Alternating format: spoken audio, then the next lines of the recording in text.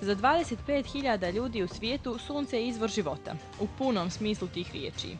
Oni žive od sunčeve energije koju direktno upijaju preko očiju. Solarna joga vijekovima je recept za dugovječnost indijskih šamana, a misterija za naučnike. Kad se tijelo napuni sunčevom energijom, ljudski mozak se rasvjetli i aktivira. your human brain gets illuminated, it activates by itself. And you achieve Tada postajete nadčovjek, superiorno biće. Solarna joga je način života i nekim ljudima u Crnoj Gori, ali postoji poseban način na koji se ona praktikuje. u ranim jutarnjim časovima, kad je sunce jako blago, na samom izlasku ili na samom zalasku. Dobro je da je osoba bosa, da je na zemlji i po 10 sekundi. Znači prati taj vremenski interval. Znači svakog dana po 10 sekundi povećavati vrijeme gledanja u sunce. 10 sekundi pa sljedećeg dana 20 sekundi i sve tako dok se ne stigne do 45 minuta.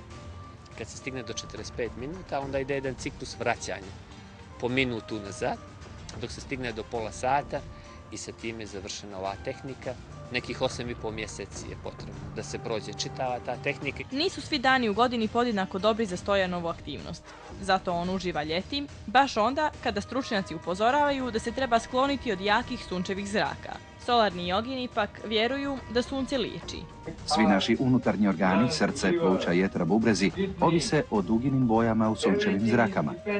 Ako je neki unutarnji organ bolestan, razlog je nedostatak određene boje sunčevog spektra. Kad tijelo primi tu boju, bol nestane. Praktikant kad završi čitav program solarne joge može potpuno da se oslobodi što se kaže konzumiranja ove klasične hrane i jednostavno prima pranu koja je svuda u prostoru. Ljudi koji uživaju u velikoj količini svjetlosti i toplote tvrde da to ne šteti vidu.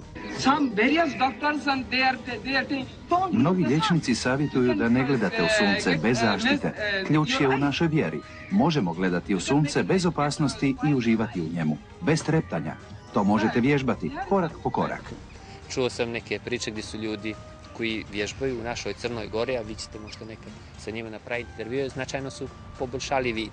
I kad su otišli kod svojih ljekara, njihov vid je bio poboljšan. Stojan je za solarnu jogu čuo prije tri godine. Po njenom učenju, ljudi mogu živjeti kao biljke, samo od sunčeve energije, jer hemoglobin u ljudskom organizmu ima sličnu strukturu kao klorofil kod biljaka. U svijetu postoje ljudi koji uopšte ne koriste hranu, godinama. Stojan kaže da on još uvijek nije na tom nivou. Sa hranom imao sam nekih dana, prođu i nekoliko dana nisam osjećao potrebu recimo za hranu. Što znači da nisam uopšte. Znači bilo je po 3-4 dana i noći da nisam osjetio potrebu sa hranom, a oko mene se ispremali na sve strane nešto što mi je nekad bilo jako onako primamljivo za konzumiranje i osjeti se neka sitost unutrašnja. Ali svrha solarne joge i nije da se ništa ne jede, već da se smanji unos hrane. Važnije je, Stojan misli, da ovaj vid joge pomogne da nađete slobodu i mir, čak i za naizgled velike životne probleme. nečemu smo dali preveliki značaj. I sad, ako nam to neko ukloni, ljudi se tresu, padaju u depresiju, dožive stres. Jednostavno, sloboda ti je kad ostaneš i bez posla, a osjećaš se dalje radosno, fino, spontano. I kao kad radiš i kad ne radiš, ti se lijepo osjećaš. Zdrava si, jednostavno, život te nekako prati kad treba doći ti posao. Nekad, nekad je dobro možda i ovako, malo biti bez posla. Stojan nije jedini koji gleda u sunce.